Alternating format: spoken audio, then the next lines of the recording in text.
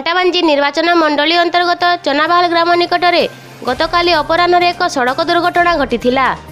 ମିଳିଥିବା ସୂଚନା ମୁତାବକ ଡୁକେଟଛରା ଗ୍ରାମରୁ କିଛି ଲୋକ ବିବାହ କାର୍ଯ୍ୟ ପାଇଁ ମହିନ୍ଦ୍ରା ମ୍ୟାକ୍ସିମ ଗାଡ଼ିରେ କଲ୍ଲାବାହାଲି ଗ୍ରାମ ଅଭିମୁଖେ ଯାଉଥିବା ସମୟରେ ଚନାବାହାଲ ଗ୍ରାମ ନିକଟରେ ଭାରସାମ୍ୟ ହରାଇ ଓଲଟି ପଡ଼ିଥିଲା।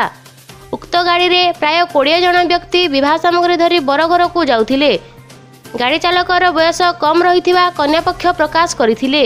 ଚନାବାହାଲ ଗ୍ରାମର କିଛି ଲୋକ ସେମାନଙ୍କୁ କଣ୍ଟାବାଞ୍ଜି ଡାକ୍ତରଖାନାକୁ ନେବାରେ ସାହାଯ୍ୟ କରିଥିଲେ।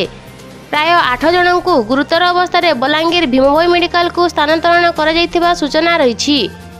ମୁରିବାହାଲ ପୋଲିସ ଘଟଣାସ୍ଥଳରେ ପହଞ୍ଚି ତଦନ୍ତ କରୁଥିବା ଜଣାଯାଇଛି।